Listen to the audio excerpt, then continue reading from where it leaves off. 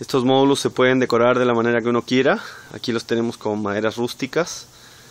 Eh, se puede hacer también un trabajo más fino. También se pueden hacer sistemas más pequeños. Estos sistemas tienen aproximadamente 2 metros y medio cuadrados de, para sembrar.